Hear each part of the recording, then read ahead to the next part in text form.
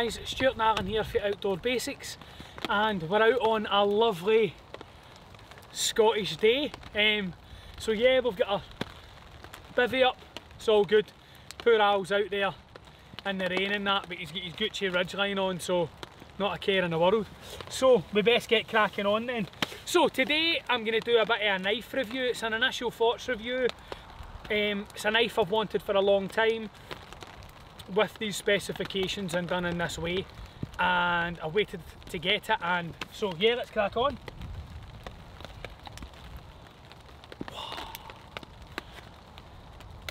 So it is a British Army uh, J. Adams MOD survival knife. This one has been heavily modified by a guy called Andy who runs a MOD kit He's, he's got an Etsy store and what a job he's done. What an absolutely stormery a job he's done here. Um, unbelievable, really. Any of you that have looked at an MOD survival knife before knows that it does not come like this. Um, so a brief, it's made out of Sheffield steel, so it's made out of high carbon Sheffield steel, and Sheffield steel is kind of renowned the world over as being an outstanding steel. Um, and these MOD survival knives, I think they're actually called knife tool utility because they were kept in like toolboxes of Land Rovers, four tonners, stuff like that. But lads started kind of getting them and putting an edge on them and looking after them themselves. Um, if you've seen them before, they're kind of jack of all trades, master of none. They're just an absolutely solid bit of kit. Um, they're, they're not brilliant at anything, but they're good at everything, if that makes any sense. So as I suppose if you want to call it a one-tool option, shelter, building, fire making, knife, a bit of a tank, these are hit. Um, Andy also gets these MOD kit knife sheaths made up, and the amount of thought and care and kind of consideration that's went into this sheath, I'm going to make that a separate video um, because it's an outstanding sheath um, and it deserves to kind of be spoke about separately. I don't want to heap it all together and not do anything justice. So, outstanding sheath, really really impressed by that um, and I'll, I'll do a review on that as well, we'll probably do that today. So the knife itself, for any of you that have looked at them you know they don't come like this, so what has Andy done? The most glaring thing, um, although I'm getting it all smudgy, which I'm regretting, um, is he's took the kind of black galvanised coating off and he's gave it this, although I'm smudging it up, it's doing my nothing, um, high polish finish and it just looks outstanding. I used this, I've had this out, I've used it once or twice now. Um, outstanding, absolutely outstanding. It just looks so cool with that mirror finish. Absolutely loves it. He puts an, a, a, really nice edge on it, sorts the edge out, the edge geometry out, because sometimes they come a wee bit hear them, scare them out of the factory, um, and it, it, sorts your edge geometry out for you. He then puts this this uh, fire steel scraper. You could kind of, it, it, it's mad. Just wait till I show you th this thing throwing sparks. It's bloody madness.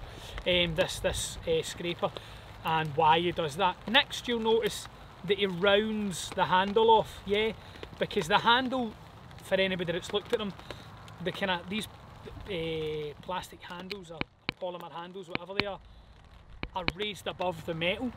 So when you're holding on to it, it's meant to be if you don't have gloves on, um, because anybody that knows anything about British military contact gloves that are meant to stop your hands getting cold, they're the only gloves, gloves in the universe scientifically proven to make your hands cold. So yeah, the, the scales are raised up so your hands don't touch the metal. I don't know why you'd be touching metal in conditions where your hands might stick to it, but anyway. He then takes that down. What he does do though is he kind of leaves it kind of blocky when he takes it down. Not mega, but he leaves it kind of blocky so that once you get it, you can finalise it yourself, which is what I have done. Um, and I spoke to Andy on the phone and he kind of explained that. Next, it's kind of, this kind of sword guard usually pokes up on both sides. The way it is here on that side, that's tamed down. That's tamed down. And I thought it was just a good touch that Andy said on the scales, he leaves a wee bit more on it so that you've got the opportunity to personalise it for yourself. And it still felt great in the hand, but I did decide to kind of round it off and just personalise it and play with it a wee bit and, and see where I, where, I, where I want to take it. And having a wee bit of extra on it, um, definitely, definitely kind of makes all the difference in the world. Um, so for the price point for this, if you want, like Andy's nothing, like done nothing for me and I'm not doing anything for Andy other than he's made a fantastic product and I, I really rate it so I'm going to do a fair review. Um, he, I think he knocks, I think this one comes in at like 85 quid or I'm not sure, it's run about there. But when you look at the amount of work that he's put into it compared to what you can buy one off Heinnie Haynes, it's madness, madness. Um, he's knocking out an amazing product at an amazing price. Um, he's taking something that's already a solid, usable bit of kit and just taking it to the next level. So yeah, um, I'm not going to like overdo it and bore you to tears by like smashing everything up and all that sort of stuff. But I'm going to show you what this knife can do. Um, with a few kind of simple tests, some batting and chopping, fair sticking, all the sort of things that people want to see in these videos. If you want to look up the the stats here, I'm not going to get into all that. There's a million and one videos on the internet that talk about length, the mill, all that sort of stuff. Look that up. Um, I'll maybe bang it in the, well, I will, I will bang it in the description box. These have been done to death on that. I just wanted to highlight the outstanding job that Andy does on these, taking them from a reasonable bit of kit into an outstanding bit of kit in my opinion. So yeah, here we go. So we've got some pine, some fair knots and stuff like that in this pine. This is a bit of a battening test really. It's verging on the old abuse, um, but we're going to go for it anyway. And the ground's a bit sodden, so it doesn't exactly have the, the best start. However, I'll come out into the open with that so I don't bash off that top. So yeah, I'll just make sure that I've got my, my head clearance and stuff like that there, get that sorted. And again, this is pine, heavy pine and it's been kind of cold and wet and horrible up here. So here we go. You can see it's knocking into the ground, it's that sodden here.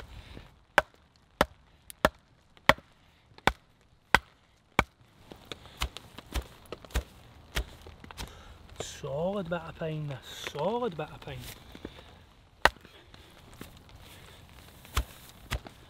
Just moving on the ground, I'll put this wee base under it. See if I can, uh, just want to make sure it's solid first before I belt it. There we go, slip off. If it comes through this, it's not even talking or anything, look. If it comes through this alright. It's done well eh? Let me get it on something a wee bit more solid, get a bit decent swing at it.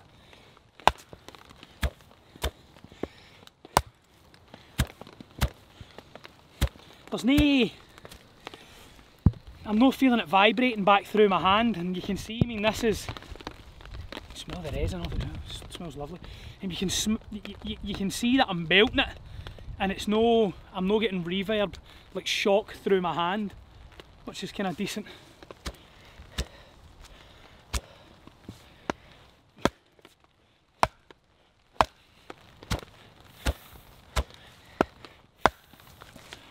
So level that up. This is kind of what I wanted for a knife like this. I kind of, I wanted a knife that I could beat the crap out of and not be scared. It's madness. That is dense as. You can see how wedged in it is there. Let's keep going. Let's keep going.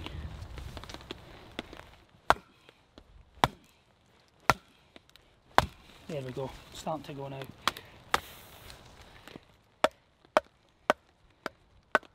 And look, nothing, solid there man, solid bit of kit. See it's starting to split right down there. Outstanding man.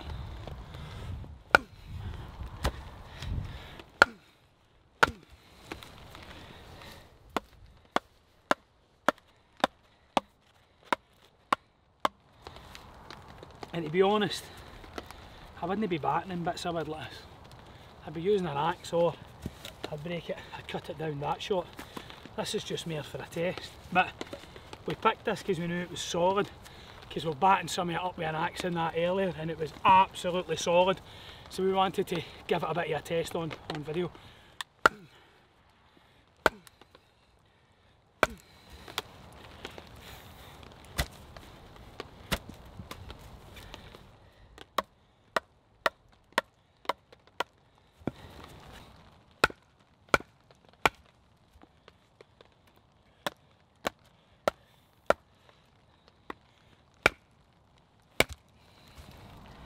Nearly there.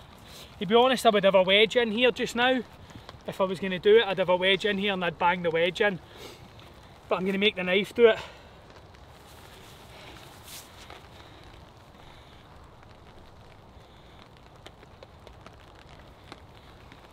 Smell the pine off it. It's lovely, man. I know yous can't, but I can. How many yous went like that? Hit your, hit your screen there.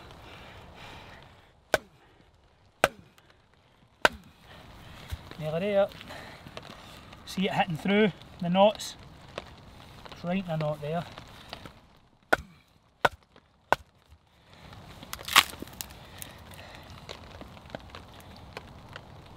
Nothing. Fucking hell. Nothing.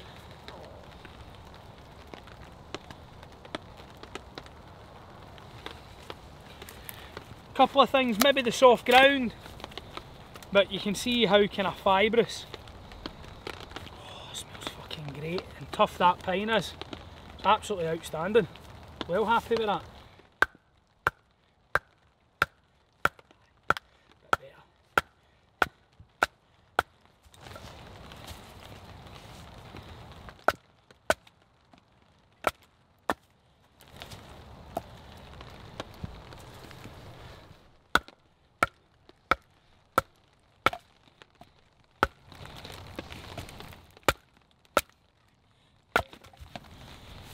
Get the picture.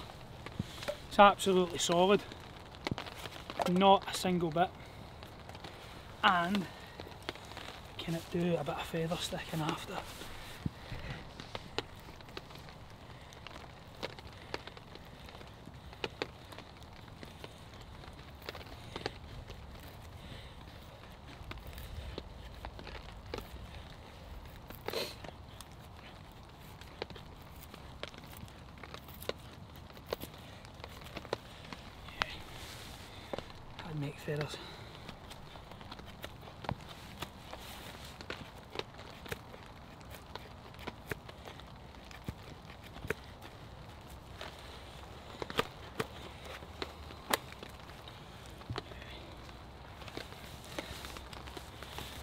Hands are bloody freezing as well.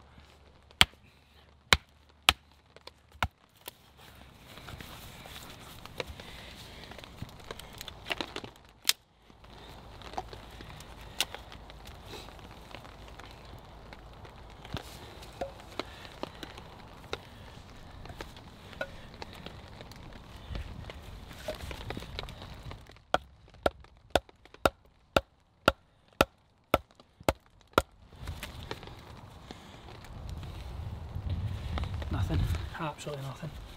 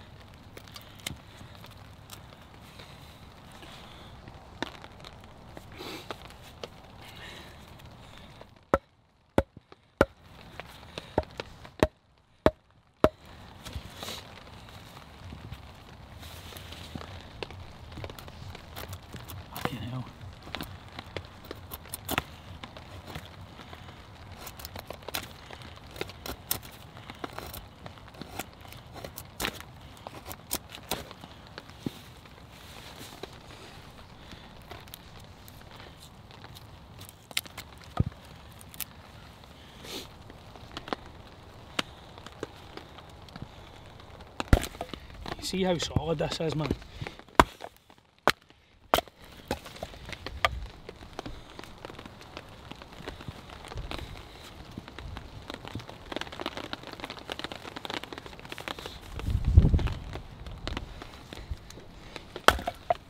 Fucking hell, yeah.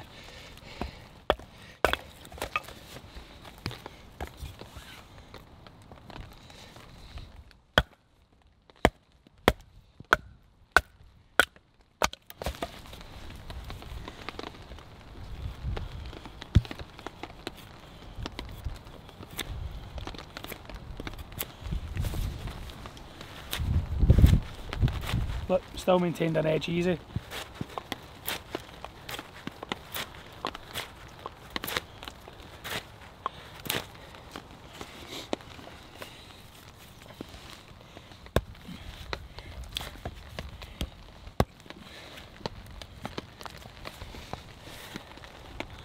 So yeah.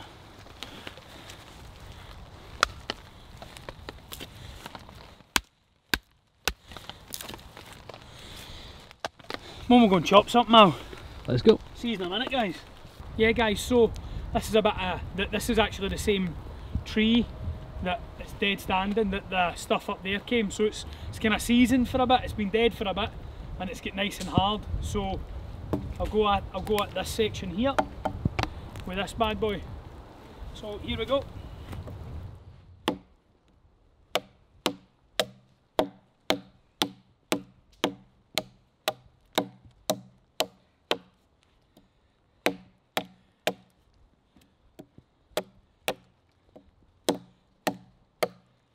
Mean, it really can replace a small axe for certain tasks for sure. Very impressive.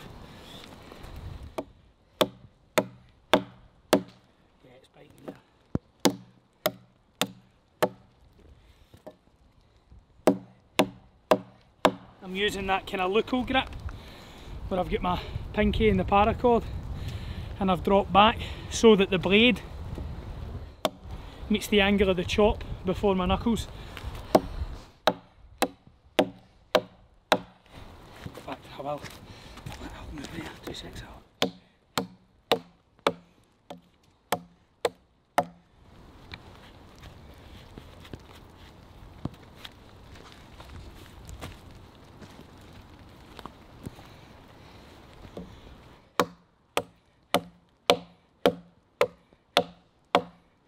It might feel like it's taking a while, but it really isn't when you how fucking dense it is. Zero fucking damage. Zero. Nuts. And it's cold as an Eskimo's bossack. To be honest, it's freezing out here. My hands are Baltic.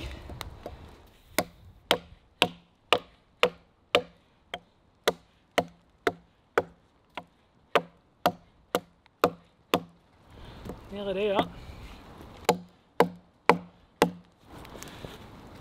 Look, see it there now. It's crazy. Ooh.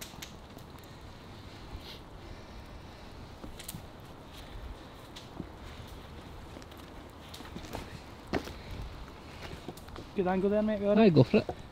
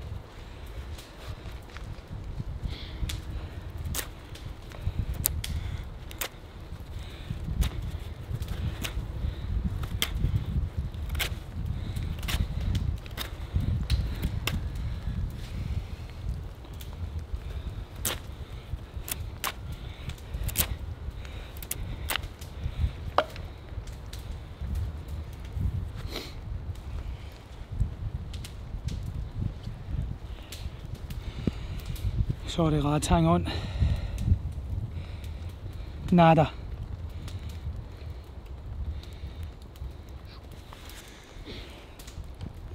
All good, head back to the other side. All good. Saying that's impressive, isn't it? So basically the thing that I want to say, see with this, what you're asking for is you're asking a knife to perform an, uh, an axe task on hard pine, which it most certainly did, most certainly did, with zero edge damage, zero. Um, it batting through a piece of it that, that length earlier, it feather sticked, the tip's strong, it chops like fuck. Yeah, awesome, awesome.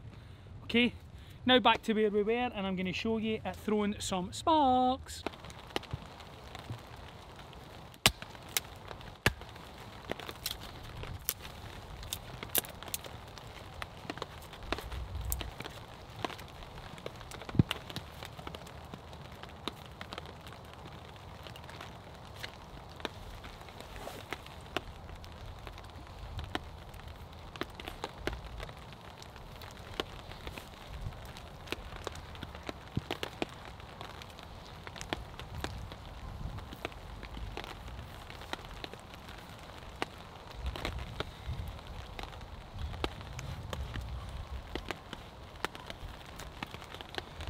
Now, am I likely to be feather sticking with this? No, but I can. I quite comfortably can, really. Very comfortably, actually. And I'm doing it a bit of a bag of bastards here, to be fair.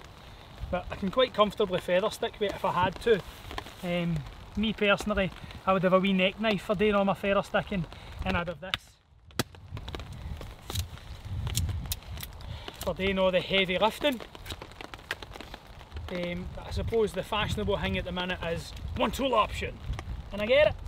But personally, I'd rather try and have a saw and an axe and maybe a larger belt knife if I need to.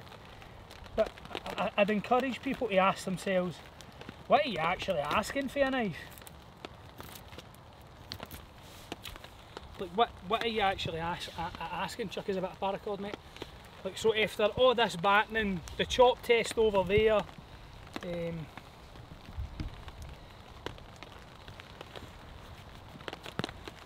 I hate cutting cord.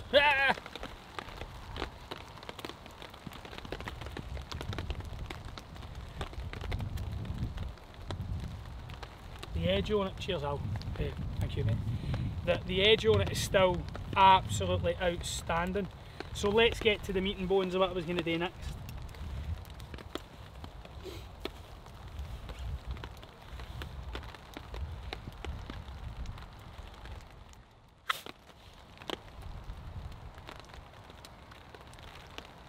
Go again now? Go again. Yeah, with that kind of six and a half fire steel. What's good about it here is I can kind of get this X position with my tinder there and then when I pull that out, see, I'm not going to fucking belt my tinder pile and it's going to go everywhere. So I can get, I'll need to get kind of work with it, but I get this X position here and I pull, oh, my fault. Yeah, that's it, got it. I pull that fire steel through and look at that man. I'll do it one more time. And it's just raining sparks down on my tinder pile. That, what a great feature. You know, I could just bang it into there, take the angle on it, got it here, tinder pile in here.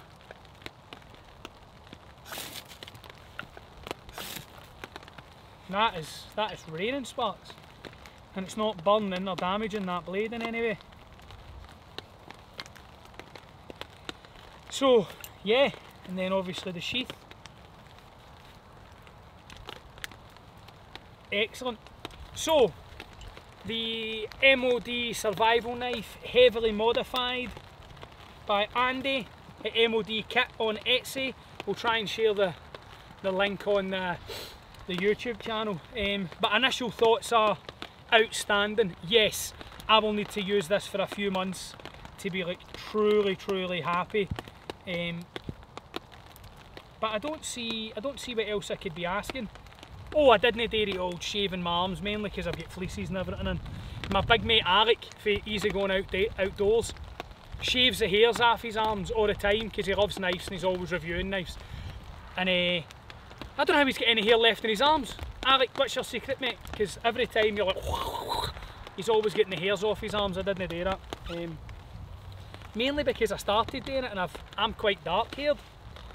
And I started getting, it's only just growing back. See it there? Like I started to get baldy patches in my arms and it was quite noticeable and I looked like I was going, had a bit of alopecia or whatever, now I can't get my fucking sleeve back done. my hands have went down, I can't get my sleeve down. This is my good hand as well. Um, so yeah, I love this bit of kit. Very, very nice. And I've rounded the handle off, like I said, myself, and it just feels awesome. I may, I may, I don't know, Rocky Road the handle myself. I don't know. But yeah, very happy with uh, Andy from MOD Kit on Etsy's take on the MOD survival knife. Outstanding. And look out in our next video or the, maybe the, the video after that for a sheath uh, review. Um, and you can see fantastic. Right out the way, no damage of that getting cut. Awesome. So yeah, as always, I've been Stuart, he's been Alan, yous have been awesome. This has been an absolute tank. Thanks for watching. If you like what we're doing, like, share, comment, subscribe, all that good sounding stuff. Don't just watch the video and disappear into the Hulu. Give us a wee follow, give us a wee like. Um, help us do more videos and because we're just out here having fun, having a laugh. So yeah, see you in the next one.